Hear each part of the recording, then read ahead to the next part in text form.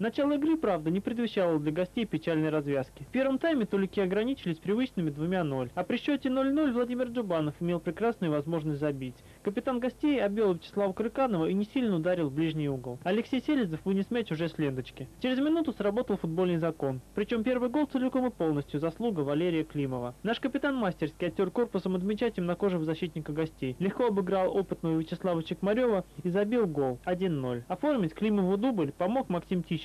На 34-й минуте их комбинация завершилась не сильным, но эффективным ударом нашего нападающего. А вот Коровушкин выглядел не так активно. Сергей, похоже, никак не обретет уверенности после травмы. Но в этот день и он не ушел с поля без забитого мяча. Неуверенность какая-то в себе появилась. Я решил подойти к 11 метров, чтобы может, пройдет, начнет забивать игры. Ну и большое спасибо хотел бы сказать, конечно, болельщикам, нас яростно поддерживали. Был наш 12 игр. Следующим ворота Чекмарева поразил Александр Соколов. И гол, надо сказать, получился на заглядение. Не случайно болельщикам припомнил знаменитая левая Андрадина. Гол получился, нас тренер нацеливает все время на ворота, на удар. Просто мяч удачно как бы отскочил Вова Мазов, пролетел его, пришлось просто, надо было просто попасть, что я и сделал. Я три раза до этого пристреливался, один раз вратарь выручил. Но не всегда же ему выручать, должен когда-то быть и гол.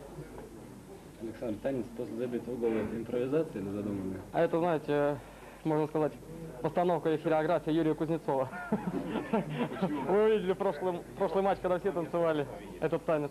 Сейчас опять было после первого мяча. Это просто было договорено, что когда команда официально оформит выход в первую лигу, этот танец будет танцевать и запасные, и игроки. И я надеюсь, что весь стадион. Последние 10 минут оборона Реутова окончательно развалилась, и в воротах гостей побывали еще два мяча. Пятый гол сотворили Руслан Суанов и Егор Шайков. Ну а точку в матче поставил Павел Надекин 6-0. Красивая победа Арсенала.